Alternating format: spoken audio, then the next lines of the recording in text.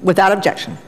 Thank you, Madam President. Um, Madam President, I, I, think it's fair to say we've got uh, two really major problems that we are grappling with uh, here in this Congress. Um, more importantly, the people all across our country are grappling with them. First is an economy that's far too weak. It's growing far too slowly, if at all, and it's certainly producing far too few jobs. Uh, the latest data is uh, particularly discouraging on the job creation front, and until we turn this around and get strong growth, we're not going to produce nearly the number of jobs that we need. The second big problem that uh, strikes me as uh, very disturbing is the unsustainable level of federal spending and the corresponding deficits and debt that have mounted as a result of all that spending. Uh, spending since the year 2000 from 2000 to 2010 has doubled federal spending. Uh, from just a couple of years ago, spending was less than 20% of our total economic output. Today, it's nearly 25% of our total economy, and that's just way too large, and that's unsustainable. All this spending has predictably led to huge deficits.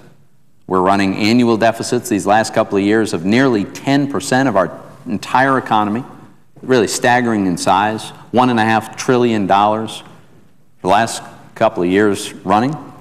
And the deficits, of course, are covered by issuing new debt. And so we have been accumulating debt on this uh, really a, a breakneck pace. And of course, all of this debt has caused us to crash into our debt limit. And we are now mired in this debate and this discussion and these ongoing very difficult negotiations over what to do about the fact that we have reached the statutory ceiling on the amount of money that the federal government is permitted by law to borrow $14.3 trillion, a, a number that's really very, very difficult to grasp because of its sheer enormity. But there we are. We're at the limit, and uh, we've got to decide what we're going to do about it. I, I have to say, I, I'm not impressed with where the current negotiations seem to be and where they have been. I, I think we have yet to see a plan from the President that lays out exactly what he's willing to cut in spending to put us on a sustainable path. The President proposed a budget. I sit on the Budget Committee. We looked at that budget. We had testimony about that budget. And uh, what we learned was it's not a, not a serious budget. It would continue with huge deficits and mounting debt didn't address any of the fundamental problems, and when that budget was on the Senate floor for a vote, the president's budget got zero votes. The president subsequently backed away from his own budget, but hasn't proposed an alternative. And unfortunately, my colleagues in this chamber on the other side have proposed no budget whatsoever. And so here we are, the world's largest enterprise, the United States government, preparing to spend this year, as we did last year, something on the order of $3.7 trillion without so much as a blueprint for how we're going to spend that, rules that would govern how it gets allocated in different categories, guidelines for where the revenue is going to come from, how big the deficit will be, none of that. We're simply proceeding along without a budget. And I have to say, I think that is shockingly irresponsible. Now we go into these discussions about the debt limit, and uh, frankly, it's not clear to me that we're any closer today to a resolution than we were several weeks ago. So some of us have suggested a solution, suggested a way out of this impasse that I wanted to describe today, Madam President. And the solution that we're proposing is that we go ahead and raise the debt limit by the amount that the President has asked, Many of us are not particularly enthusiastic about that, uh, but we acknowledge that failure to do so will, at some point in presumably early August, result in a considerable disruption and a partial government shutdown. It will not result in a default on our debt. And there are many, many of our ongoing expenses we could continue to cover from ongoing tax revenue, but it would nevertheless be very disruptive. And it's my hope that we'll never get there and that we will instead find a resolution. The resolution that some of us are proposing, specifically Senator Mike Lee from Utah, who I credit a great deal for his leadership on this. Senator Lee and I have introduced the bill together with a number of other colleagues. I think we have over 25 co-sponsors in the Senate.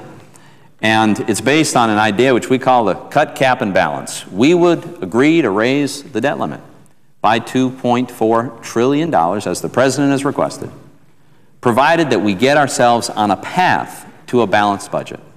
And by that, we see three pieces cuts in immediate spending, caps, statutory caps uh, in spending over the next few years, and a balanced budget amendment to the Constitution, which we acknowledge would take several years to achieve. But the point is that the combined effect of these measures would clearly put us on a path to a balanced budget, end the practice of running deficits, eventually end the need to raise debt limits because we wouldn't be issuing new debt. We would instead, as a government, be living within our means. If you ask me, this is a very reasonable thing to do, to suggest that the federal government ought to live within its means.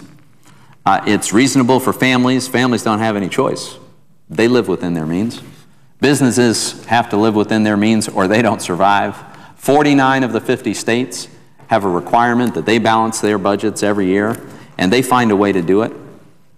You know, this president wouldn't be the first Democratic president to embrace this if he were to embrace this idea. President Clinton, working with the Republican controlled Congress in the 1990s, first embraced the idea that we ought to strive for a balanced budget that it was a worthwhile goal, that it was an achievable goal, and within a few years, in fact, they achieved it. Two different parties working together, not always uh, enjoying each other's company as much as one might like, but the fact is they got it done. And I think that uh, we ought to consider using that model today. You know, as recently as 2007, we were actually quite close to a balanced budget. Our deficit was just over 1% of our total economy, as opposed to today, where it's nearly 10% of our total economy. And by the way, I fully acknowledge that we can't get there overnight, as much as many of us would like to. We've dug a deep hole. We're borrowing almost 40 cents of every dollar we spend, and it would be too sudden and draconian to think that we could balance that budget overnight. And so we've suggested a path that might take eight or nine or 10 years to actually reach a balance, but it would surely put us on a path that would get us there. And that would be enormously constructive, not only in the sense that it would assure the long term fiscal viability of our country, which is, in and of itself, an absolutely vital goal, but it would also create some certainty in the market, reduce the risk of huge inflation and huge interest rates and the other dangers that accompany irresponsibly large deficits, and in the process, help to encourage stronger economic growth and job creation. Um, I think we ought to be flexible in how we get there. We've proposed one way, it's not the only way to do it, but, it's, but it importantly is premised on this principle that we can reach a balance and we ought to do that. I think it's absolutely critical that we demonstrate that we have the political will and the ability to tackle this, arguably the biggest challenge that we face. You know, we've seen what's been unfolding in Europe because they chose not to tackle these problems in recent years. I would suggest that we're not that far behind some of the countries in Europe that are in the middle of truly devastating sovereign debt crises. We're not quite there yet. But if we don't change the path we're on, that is the direction that we're heading. Let me just walk through the uh, particular items in this approach that we're advocating in which we would cut, cap, and balance. First is to cut spending, and we're suggesting a cut from the 2011 levels of $142 billion. It's actually less than 4% of the amount of money that the government spent last year. Well, we're, we're still in the current year, but the fiscal year 2011. It would still spend more than we spent in 2010. So it's very hard to see how this could be fairly described as any kind of draconian cut. It's a very modest cut in spending. And by 2012, the levels will be almost half a trillion dollars more than the levels of spending in 2008. But that's the first step, is to cut spending in the immediate future in this next fiscal year. The second is to cap spending over the next several years. And to do this, we've established a set of caps, statutory limits on how much the government could spend each year, based on the level of spending in the budget resolution that I introduced on the Senate floor, which had almost all of Republicans' uh, support. I wish we had some Democratic support, and I still hope we'll get some. But the important thing about this budget resolution and these cap levels is they reach a balance, not overnight. It takes nine years. But by con- controlling spending and adopting pro-growth policies that encourage an expanding economy, we would, following these cap levels, be able to balance our budget. And then finally, we're advocating that as part of this package, as part of an arrangement by which we would agree to raise the debt ceiling, we would also pass in both the House and the Senate a balanced budget amendment to the Constitution and send it off to the states. We would not suggest that the increase in the debt limit be contingent upon state adoption, but I'm confident that the states would, in fact, pass a balanced budget amendment to the Constitution if we here in Congress would send it to them.